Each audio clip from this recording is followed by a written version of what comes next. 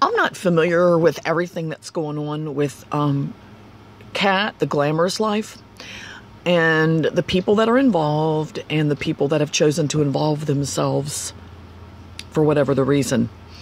Um, everyone has an opinion, but there are people that have just injected themselves into it. Um, I haven't seen it at all, really. I just kind of hear about it here and there. A couple of things I have heard directly from a few mouths. Um, but I'm going to share my opinion, and then I'm going to share a fact. My opinion is that Kat is nothing like Elvis. My opinion is that Kat is not an e-beggar. Um, I was on YouTube one day several months back. It was last year sometime. And I'm scrolling through, seeing what's posted, and I see this person that I've never seen before, ever. Never seen them. They're not on Boit. They're not in the drama community. They're not in the in the uh, beauty community. And I clicked it. It was a live stream, and I watched this person for a while and they were interesting. They were chatting with the side chat, and I didn't say anything. And then I'm watching, and then Kat comments. She says, you know, something about what the person is doing on camera, and she's like encouraging and supportive and nice. Now, the person on the stream's not asking for anything, they're kind of just doing what they do and chatting. And then Kat hit the super chat and she gave money. I'm not going to say how much, but she gave money. And the person thanked her profusely and said, Oh, you didn't have to do that. That was a lot of money. And, you know, she said, Oh, don't you worry about it. I love watching you, and this is really, you know, entertaining, and I want to show you I appreciate you. Um, like I say, none of us know who this person is. I can assure you of that. And um, Kat never breathed a word about it. Now, the odd, she didn't know that I saw that.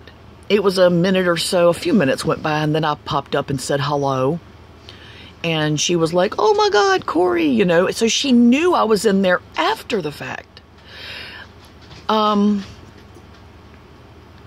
that person didn't she never she never outed I gave money to this person.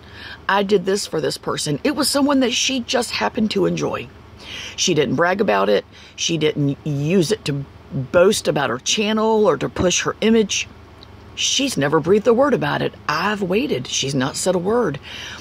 And that, I don't know how the saying goes, how a person acts when they think no one's watching says a lot about their character. And of course, she knew there were people there, but the people from her community, from here, from us, weren't there. And that's what she did and she doesn't even know that anyone saw it. Well, Kat, I saw. And I was touched by it. It it said a lot about you that you never said for yourself.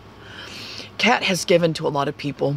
Kat has shared a great deal with people, whether they needed it or she just wanted them to have it. And some people have told me, even though they, you know, they had said they wouldn't say anything, they did. Um, and how appreciative they were of you. And now that Kat's the one that needs, she's getting judged. She's getting told that she shouldn't live the way she lives. Well, that's just the way she fucking lives. you know, yeah, she may have squandered some money. That was her money to squander, and she certainly didn't think it was going to go away. I mean, you've got women out there whose husbands have to pay them $80,000 a month in alimony. Um, Kat could very well end up being one of them. You know, you just don't know. That's just the lifestyle that her husband had her in. He had her in that lifestyle. Now suddenly people want to judge her for it. You know, now she's she has hit a level that she's humble in herself. She's realizing, wow, the tables have turned. Now I need help.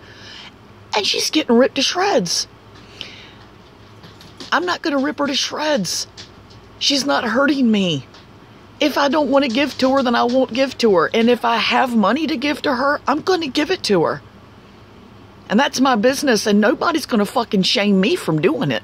I do what the hell I want to do. Uh, I just, people got to realize that you don't know everybody like you think you do. You see what they want you to see. And if you happen to see something that they don't know you're seeing, like I did with her, um, then you're blessed. You were a fly on the wall and you got to see something that you normally wouldn't have seen. But, Kat, you have my support, and I don't agree with everything that's going on right now with you. That that's your business, and it doesn't affect our friendship. And I will not tell you who to be friends with. I never have, have I? No, I haven't. It doesn't affect my friendship with you. And I love you.